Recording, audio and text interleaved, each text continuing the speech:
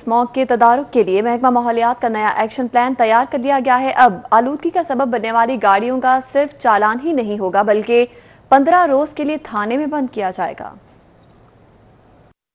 Smoke का खतरा मुंडलाने लगा। तो महकमा माहौलियात ने कमर कस ली। एक माह के दौरान 500 से जायद सनती यूनिट्स को नोटिस जारी कर दिए। वज़ीर माहौलियात पंजाब कहते हैं कि इस मसले के हल के लिए आगाही की अशद ज़रूरत है, जबकि आलूदगी का बायस बनने वाली गाड़ियाँ अब थानों में बंद की जाएँगी।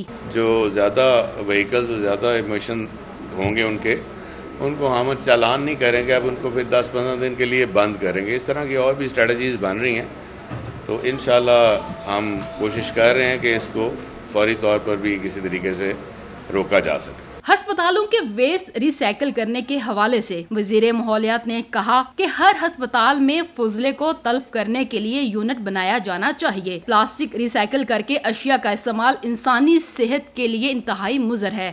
मैं मीडिया से ये गुजारिश करना चाहूँगा कि वो सबसे बहुत इफ़ेक्टिव मोडैम है लोगों में अवेयरनेस लेके आने का।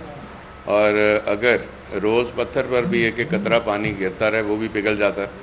तो आप सबसे ज़्यादा इफ़ेक्टिव रोल इसमें कर सकते हैं अदा। स्मोक के तदारक के लिए महकमा माहौलियात ने जुडिशियल इन्वायरमेंटल कमीशन की हदायत पर फ़सलों की बाकियात और कूड़ा क्रिकेट जलाने वालों के खिलाफ सेक्शन 144 के तहत कार्रवाई का भी ऐलान किया है।